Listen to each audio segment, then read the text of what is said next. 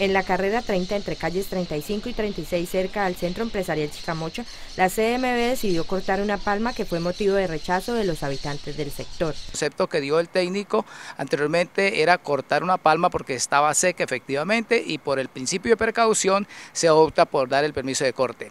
Los residentes de la zona se opusieron al corte de esta palma porque manifestaron es el hábitat de cientos de pericos que sobre las 5 de la tarde hacen un espectáculo con su canto y alegran a todo el que transita por allí. Verifiqué hoy, en el día de hoy, como es la presencia de una manada de pericos eh, silvestres que llegan y posan ahí entre las 5 y 6 de la tarde. Eso lo verificamos hoy y efectivamente se procedí como funcionario de la corporación a suspender el corte de esa especie.